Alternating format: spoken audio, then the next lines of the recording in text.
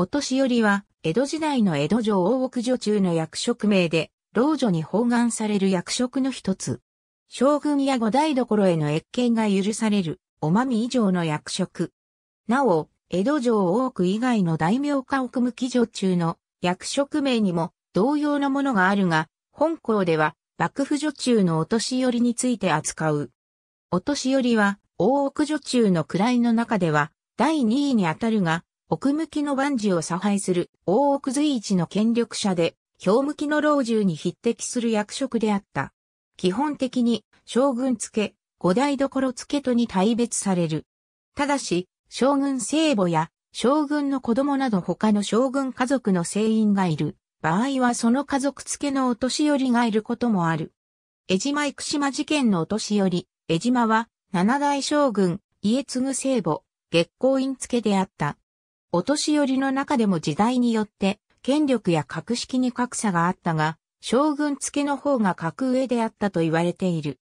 将軍付けには年番と月番とがあり、月番は毎朝四辻に五点向きの千鳥の間に詰めて、自身はそこを出ることなく、女中たちを呼びつけて、一切を指図したという。夕方七辻になると部屋を退出したとされる。ちなみに五台所付は、千鳥の間ではなく、五台所住居近くにある、老女衆詰所に詰めていた。また、江戸時代後期になると御用係という役目が作られ、中奥役人との内談等の御用を担ったとされる。時代によっては、幕府最高人事に老女が関与していたとされる。松平定信の老中就任をめぐり、時の将軍であった徳川家成より諮問を受けており、将軍付け落としより、滝川が将軍付上老落としより、工学とともに、旧大将軍、徳川家重が、将軍近親者が幕府要職に就くことを禁じたという理由で、定信の老中就任に対して、反対意見を述べていたとされている。また、将軍の内を御三家に内々に伝える役目を、老女、大崎が担ったとされる。奥向きの公務の一つに、将軍のよとぎに関するものがある。将軍は、将軍付け御中老の中から、よとぎの相手を選び、それを将軍付けお年寄りに伝えれば、その日のうちにそのお年寄りが、将軍の選んだ相手が信女で待機するように指示を出した。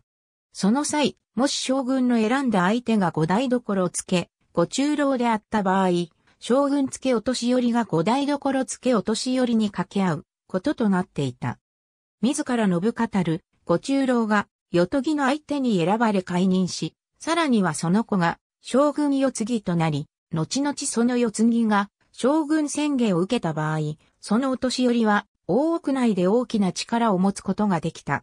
また、江戸時代後期の将軍側室の一部に、お年寄り上坂区が与えられる者もいた。しかしこれは、その女性が実際にお年寄りの役職に就くというわけではない。戦術した通り、将軍のよとぎの相手はご中老から選ばれる。よとぎの後、解任となれば、その女中は側室とみなされるが、格式はご中老のままであった。そのため、給与面、各式面においてお年寄りないし上老お年寄りに相当する待遇として、お年寄り上座格が与えられたとされる。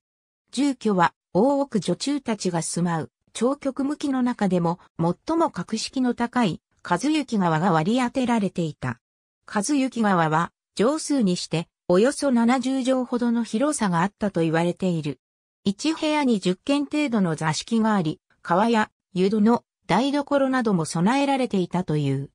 六は主に合力金、切り米、炭、五歳銀などが支給されるほか、引退後の屋敷や土地や時代も与えられたとされる。また外出時の格式は10万国相当のものだったと言われる。上級女中たちは部屋方という使用人や自分たちの代わりに外での買い物等の使用を引き受ける5歳という下働きを雇っていたとされるが、お年寄りは大抵の場合、一人で部屋方を十数名ほど抱えていたという。公家より五台所が降下する際に同伴してくる、公家出身の女官たちは、大奥女中最高位の上老お年寄りの役に就いた。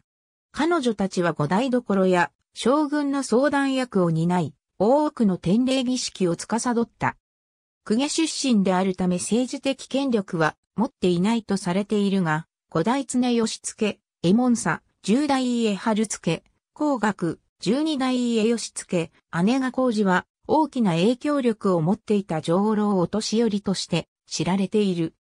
姫が嫁いだ際に随行したお年寄りが、大年寄り、局、お年寄りなどの役職で呼ばれることもあったあるいは、老女上座格とも言う。江戸時代中盤以降、側室の立場はあくまでも女中であり、将軍家の一員とみなされるのは、自身の子供が将軍となった時、つまり、将軍聖母となった時であった。したがって、側室の待遇は最高でも、お年寄り格であった。徳川家春の時代は、老女に含有される、上老お年寄り、小上老、お年寄りが、上老お年寄りに統一されていた。ありがとうございます。